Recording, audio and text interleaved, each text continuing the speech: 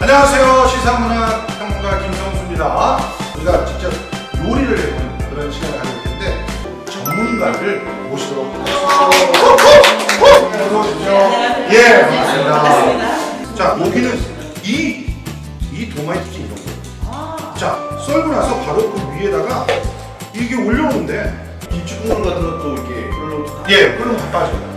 이렇게 오리 있어가지고 그럼 아 그리고 여기 이 눈금이 있어요. 음. 그래서 센치를 요구하면 맞아요. 맞아요. 여기 예, 맞습니다. 이렇게 빼서 그대로 쓰면 되죠. 예, 이렇게. 아니, 그대로 그냥 넣어도 돼. 예, 그래서- 우리가 접시에 지금 그 DP를 하기 위해서 이렇게 하는 거지만 요거는 그냥 이렇게 집어넣으면 되죠. 네, 네, 맞아요. 여기다 너무 편해. 부부의 입장에서 진짜. 어, 주부 입장에서 편리하고 좋아요. 요리 연구가 입장에서.